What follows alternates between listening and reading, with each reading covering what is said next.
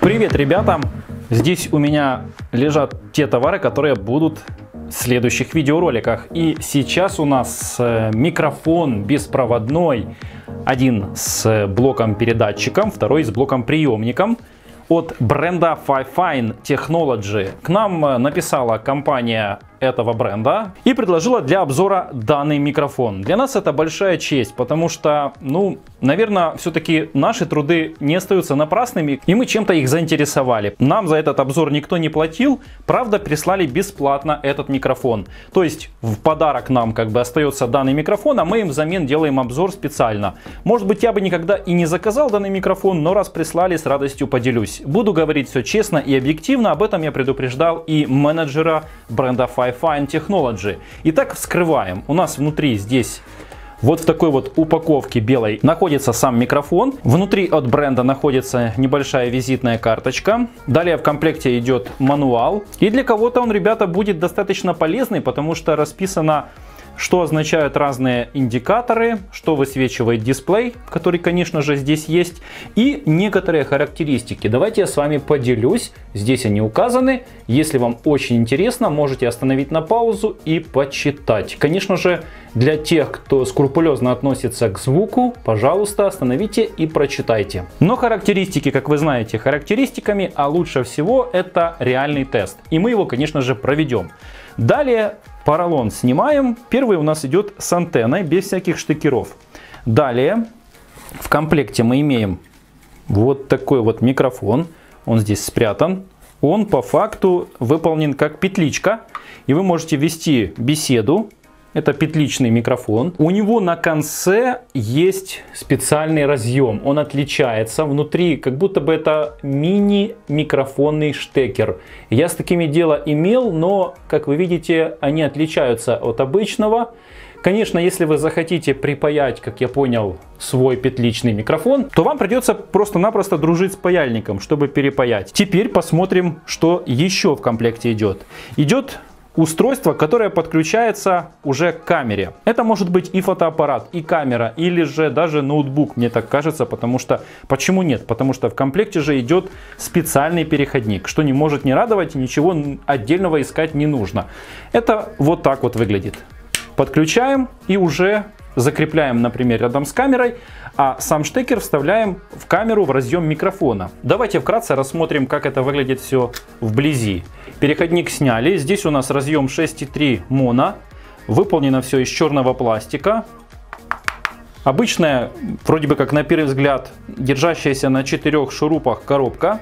Здесь у нас переключение в кэл-выкл, а также имеется здесь антенна для того, чтобы был лучший сигнал. Это поможет вам в том случае, если вы работаете на удаленном расстоянии, например, больше двух метров. Тогда антенна, конечно же, очень нужна. Также имеется светодиод, который будет вас информировать о том, есть ли сигнал, есть ли питание и вход под батарейки. Внутри устанавливаются батарейки типа 3А. В комплекте их нет, нужно будет установить, конечно же, свои и желательно какие-то хорошие, чтобы они не потекли, если вы будете использовать их и хотите, чтобы ваш микрофон вас не подвел. Итак, смотрим теперь данный блок, который принимает сигнал. Здесь мы видим есть зажим для того, чтобы закрепить его на вашем поясе. Обычно журналисты используют его где-то сзади на поясе, пряча за спиной, а выводят уже уже микрофон перед собой, как это делаю я в студии. Сверху у нас есть кнопка, вход для того, чтобы подключить с тремя такими штекерами.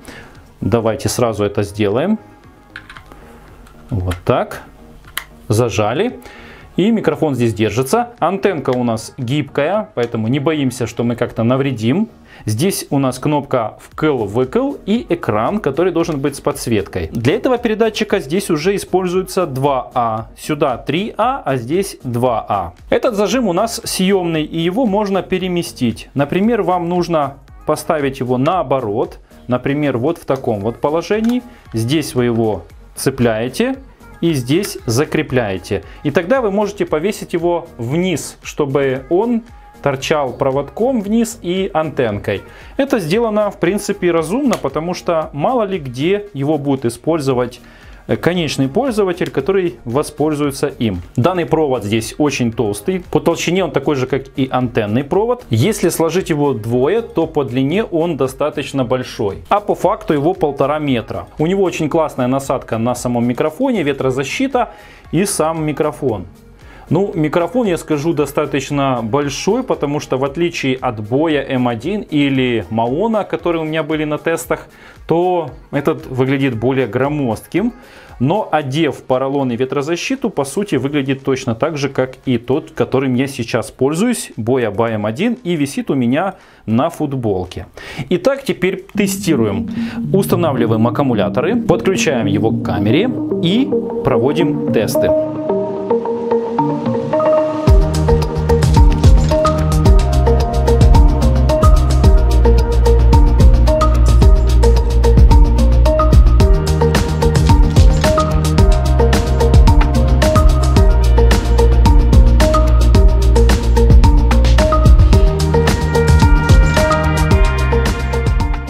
Ребята, я закрепил приемник. И где я вставляю руку, для меня это здесь очень удобно. Во время съемки он никак не мешает. Антенна будет смотреть вверх так правильно, чтобы везде принимала сигнал. Отсюда выходит переходник, соединяется с разъемом на микрофон. Сейчас мы берем направление на точку, где мы хотим сняться и отправляемся туда. Мне интересно, на каком расстоянии будет прекращен сигнал. Я замерил до той развалины, 50 метров э, длина расстояния. Теперь отхожу на это расстояние. Сейчас вы меня вот так вот слышите. На улице очень ветрено. Так, отхожу. У меня передатчик находится на э, задней части пояса. Я его перенес сюда, потому что ну, вы будете меня слышать, когда я буду идти лучше. Сигнал будет поступать. Итак, ребят, давайте. Ну, наверное, метров метров 20 я отошел, может 18. Вот, слышно меня здесь, не слышно, 20 метров. Спокойно вести здесь можно беседу. И даже, ребята, если вы будете брать интервью у кого-то, то собеседника вашего тоже будет хорошо слышно. Потому что вы можете закрепить более ниже. И тогда он будет одинаково равносильно, не так громко меня записывать, но и также по голосу примерно будет записывать человека. Вот я спокойно разговариваю сейчас Раз, два, три, четыре, пять. Датчик у меня здесь. Пробы дальше проверяем. Я отхожу. Это уже 30 у нас. 30 отметка. Наверное, здесь будет разумно стоять боком, потому что, потому что у нас здесь приемник передатчик антенна. Отправляюсь дальше. 50 метров это возле развалины. Я не знаю, меня уже слышно или еще слышно или нет. Раз, два, три, четыре, пять. Я вот здесь махаю. Думаю, что, возможно, вам это как-то поможет узнать, э, слышно меня или нет, хотя бы будет видно. Вот я стал на возвышенности. Прием, прием, как слышно. Раз, два, три, четыре, пять слышно ли меня или нет. Поднимаюсь по развалинам. Я уже здесь. Наверняка вы меня уже видите. Стою здесь на возвышенности. Привет, ребята. Вот ровно 50 метров. Камера с установлена. А то, что вы видите сзади, знаете, что это, ребята? Так, если сильно дует, то попробуем сейчас забраться. Оп, опа. О, то это, ребята, у нас на сзади меня там виднеется, это у нас солнечные панели. Да, ребята, какое-то предприятие купило. И у меня датчик находится сбоку. Вот он. Сейчас я поворачиваюсь, становлюсь, по сути, помехой для антенны. Думаю, что не должно это влиять. Очень важно, очень важно, чтобы мы не закрывали э, антенне доступ, который стоит сейчас там на камере.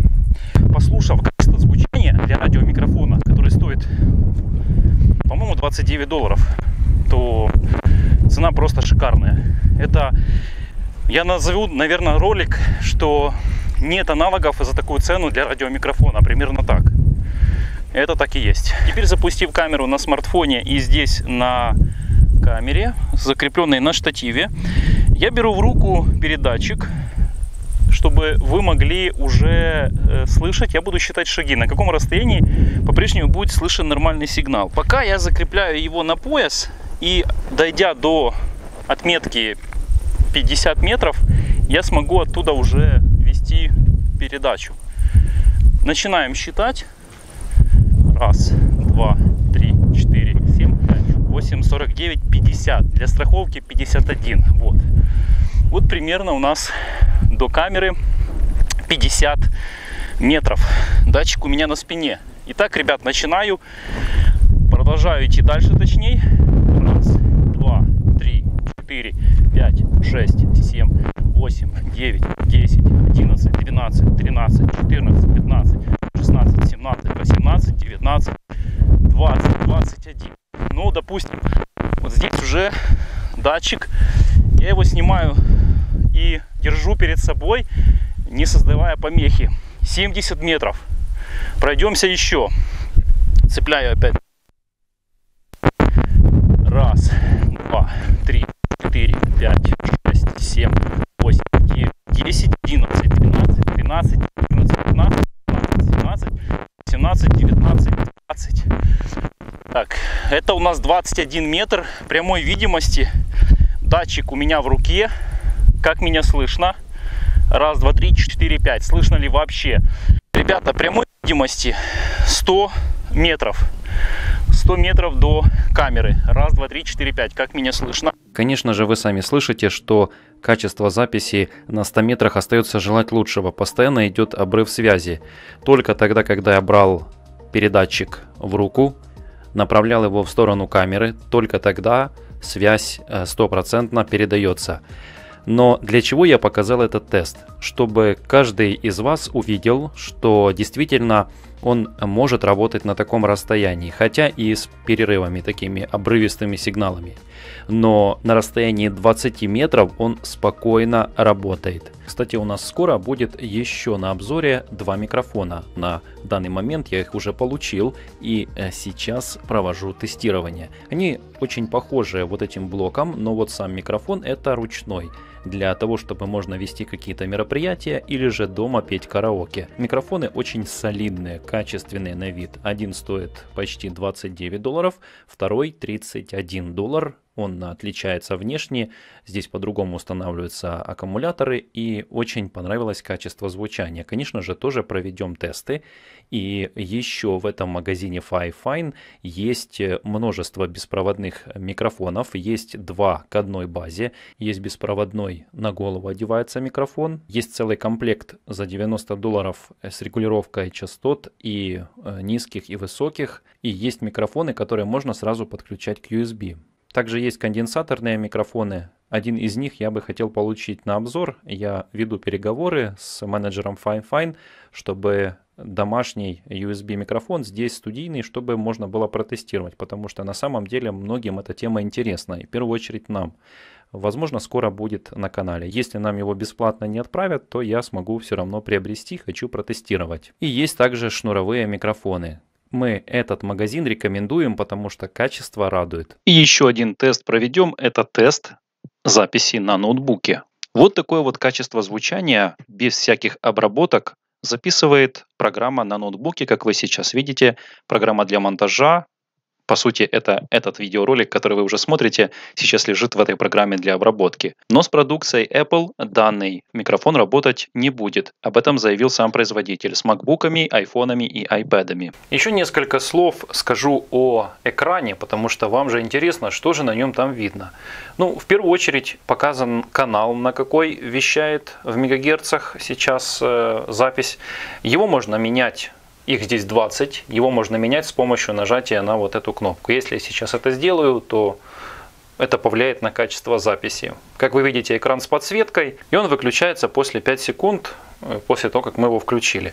Но информация по-прежнему видна. И самое, что приятное, это то, что показывает индикатор батарейки. Потому что есть другие бренды, у которых есть информация о том, сколько заряда, но она в точках но не видно какой канал. Здесь же это все очень хорошо виднеется. И вот такая вот студийная запись в комнате, в помещении, потому что то, что вы видели, это было на улице при сильно ветреной погоде, а это, так же как я веду обычно обзоры, показываю вам. Вот, кстати, эти микрофоны, о которых я упоминал. Сейчас они здесь уже лежат, ждут обзора. И еще одно. Тестируем сейчас Honor Band 5. Вот такие вот уже сменные watchface, как и на браслете Xiaomi Band 4. На одной руке у меня Amazfit Bip, а здесь по работе приходится носить два браслета. Бывало, что и по три ношу, чтобы протестировать и рассказать вам. И еще последняя информация. Я провел тесты с смартфонами, подключал и тот, и тот смартфон проверил, но ни на одном смартфоне данный передатчик радиомикрофон не воспринимает его чтобы можно было вести запись на смартфоне. Он предназначен для фото и видеокамер, чтобы можно было вести запись, либо подключать его к микшеру или какому-то пульту или колонке. Рад был вам показать, рассказать, провести все эти тесты. Ставьте огромный лайк за наши труды. До встречи в новых видеороликах и был рад поделиться честным мнением. Всем спасибо, до встречи, пока.